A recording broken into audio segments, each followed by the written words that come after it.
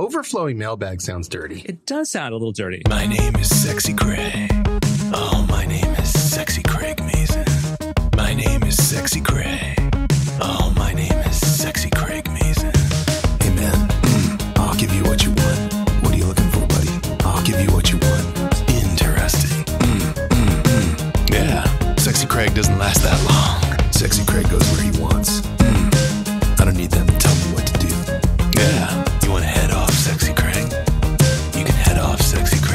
My name is Sexy Craig. Oh, my name is Sexy Craig Mazin. My name is Sexy Craig.